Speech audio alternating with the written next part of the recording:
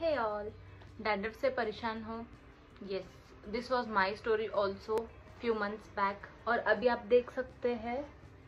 dandruff बिल्कुल नहीं all thanks to this Elixie hair mask because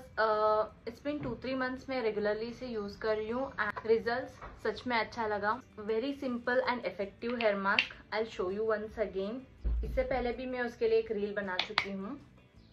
See this is the texture कुछ नहीं, बस इसे एक बार शैम्पू करना है and then apply this mask leave it for twenty